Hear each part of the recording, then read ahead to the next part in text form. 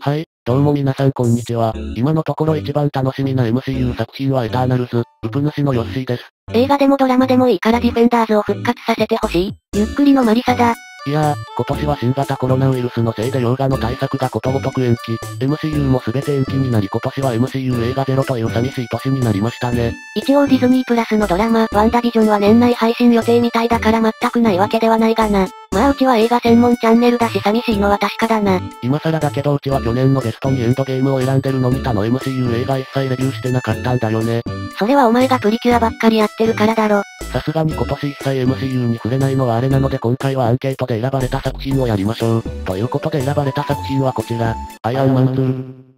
アイアンマンシリーズの第2作目だな。マーベルコミックのヒーローアイアンマンの実写映画化であり、マーベルシネマティックユニバースの第3弾で、アイアンマンであることを公表したトニー・スタークに父親と因縁のある新たな敵が襲いかかるという話だね。監督は前作に引き続きジョン・ファブロー、主演はロバート・ダウニー・ジュニアだよ。アンケートで1位になったのはこれか。アイアンマンが MCU でもトップクラスに人気なのはわかるがこの映画ってそんなに人気あったっけ？これは僕も予想外の結果だったね。フェーズ4最初の映画のブラックウィドウが活躍した作品をチョイスしたんだけど、アベンジャーズかウィンターソルジャーあたりだと予想してたのに意外な結果だったよ。まあ選ばれたからにはやりますけど、本当うちの視聴者って僕の予想通りにいかないね。お前の読みが甘いだけじゃないか。というわけでアイアンマン2、MCU の原点でもあるみんな大好き、アイアンマンの続編で MCU 通算では3作目に当たる作品だね。でもこの2作目の評価は1作目と比べてちょっと微妙だよな。決して悪い映画ではないし、僕は普通に楽しめた作品なんだけどね。全体の水準が高い MCU の中では若干微妙な一本ではあるかな。大きな要因として前作があまりにも完成度が高い作品だったというのがあるね。1作目は MCU の最高のスタートを切った傑作だもんな。今なお多くの MCU 作品に引き継がれてる要素も多く単体の映画としてもとても面白い。この作品があったからこそ MCU はここまで大きくなれたと言っても過言ではないと思う。それゆえに2作目のハードルが上がってしまったというのがあると思うし、それに何より今後のシリーズ化へと向けた準備をしないといけないという制約がある。そのためどうしても一本の映画としての完成度を損なってしまったというのも大きいだろうね。逆転アメリカやそう、アベンジャーズのための伏線も色々あったもんな。シリーズ化のためには色々準備も必要だから仕方ないといえば仕方ないが、ユニバース化へ向けた2作目って結構鬼門ってイメージあるんだよね。キングスマンや DCU なんかもユニバース化へ向けた要素を入れすぎて微妙になっちゃった作品だったし、まあこの2作に比べればまだだいぶマシな方だと思うけど、こっちはまだ話の中に自然に入れてた感じはあるよな。そうだね。本作の場合単純にユニバースとしてどうこうとは別に、単体の物語として明らかな詰め込みすぎなところだと思う。一番気になったのは本作でトニーが抱えてる問題が多すぎるところ。そのせいで物語の焦点がブレてるし一つ一つの問題がちゃんと消化しきれてない印象を受けたね。この映画でのトニーの解決すべき問題というと一番はメインヴィランであるイワンとの因縁だよな。親の代から続く因縁というのは面白いところだし、冒頭から前作のトニーのように手作りでリアクターを作るところも好きだし、演じてるミッキー・ロークのおかげで結構いい存在感を放ってたヴィランだったんだけど、他にもいろんなエピソードを消化しないといけなかったせいでだいぶ雑に畳まれちゃった印象なんだよね。結局動機もスターク親子への逆恨みという小さいものだったしな。フェーズ2あたりまでの MCU はまだヒーローたちを魅力的に立てることに力を入れすぎてヴィランが甘いというのがあったと思う。基本一作で使い捨てのヴィランが多いしな。悪役として魅力的に立っていたのはせいぜいロキぐらいだよな。ロキはいいかませだった。イワンももうちょっと活かしようがあった気もするんだけど残念な扱いだったね。ラストバトルも結構あっさりな終わり方だったしな。本作のヴィランだとサム・ロックウェル演じるジャスティン・ハマーの方が面白かったと思う。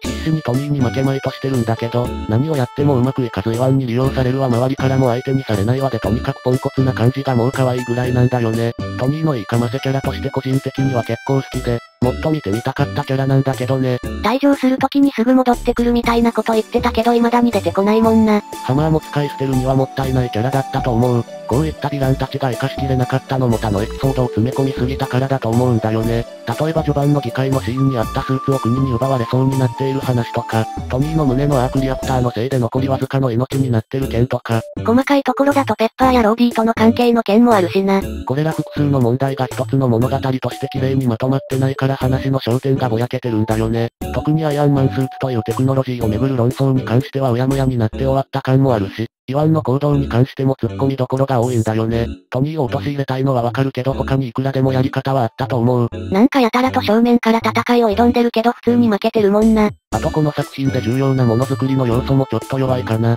新しい元素を作ると言われても僕みたいな素人にはピンとこないし、せめて少しでもいいからスーツを作ってる場面が欲しかった。どうせならウィップラッシュのあのムチヘの対策機能とかつけてる場面があったら面白かったのに。でもこの映画に出てきたアイアンマンスーツ自体は良かったんじゃないか。そうだね。特に中盤に出てきたマーク5、スーツケースから変形して装着するシーンはこの映画一番の見どころで、MCU 全体から見ても最高の装着シーンだったと思う。シリーズを追うごとに徐々にアップグレードされていくのがいいんだよな。このスーツを使ったアクションの見せ方も文句なしなんだよね。初期の頃のアイアンマンのアクションって基本的にアイアンマンをその場からあまり動かさずに、ちゃんと重くて硬いものが動いて戦っているのが味わえるアクションになってて、ロボットものらしさがよく出てる上にアクションとしても非常に見やすいものになってる。この終盤のウォーマシンとの背中合わせの戦いとか最高だったし、中盤のトニーとローディーの殴り合いなんかも、壁や天井を貫通しまくる金属同士のぶつかり合いがたまらなかったね。この辺は近年のアイアンマンではあまり感じなくなってきた部分だよな。3以降は軽量化したのかと思うぐらい動きが軽くなっていって重さや硬さをあまり感じなくなったのは事実だね。